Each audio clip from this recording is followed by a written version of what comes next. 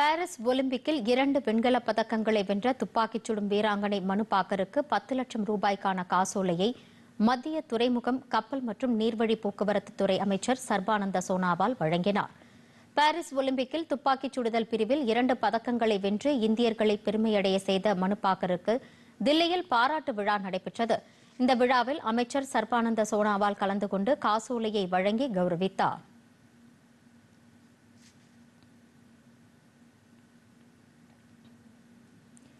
நிகழ்ச்சியில் பேசிய அமைச்சர் பிரதமர் நரேந்திர மோடியின் தலைமையின் கீழ் விளையாட்டு வீரர்களுக்கு ஊக்கமளிக்கப்படுவதாகவும் உள்கட்டமைப்பு வசதிகள் ஏற்படுத்தப்பட்டு விளையாட்டிற்கு சாதகமான சூழல் உருவாக்கப்பட்டிருப்பதையும் சுட்டிக்காட்டினார்.